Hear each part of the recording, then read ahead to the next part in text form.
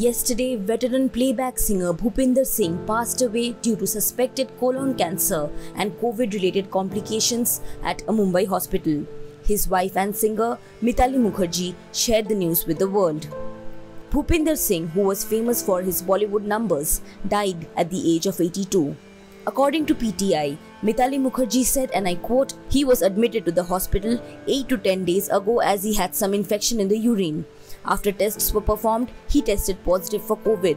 He passed away at around 7:45 pm due to suspected colon cancer and had COVID, she concluded. Prime Minister Narendra Modi took to Twitter to convey his condolences on the demise of the renowned singer.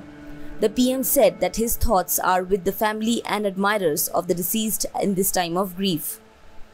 PM Modi's tweet read, anguished by the passing away of Sri Bhupinder Singh Ji, who has given memorable songs for decades. His work struck a chord with several people. In this sad hour, my thoughts are with his family and admirers. Om Shanti. In his five decade long career, the singer, born in Punjab's Amritsar, worked with the biggest names in the music industry, such as Mohammad Rafi, R.D. Burman, Lata Mangeshkar, Asha Bhosle, and Bappi Lahiri, among others. Bhupinder Singh is known for songs like Dil Dhoondta Hai, नाम गुम जाएगा। एक अकेला इस शहर में किसी नज़र को तेरा इंतज़ार आज भी है।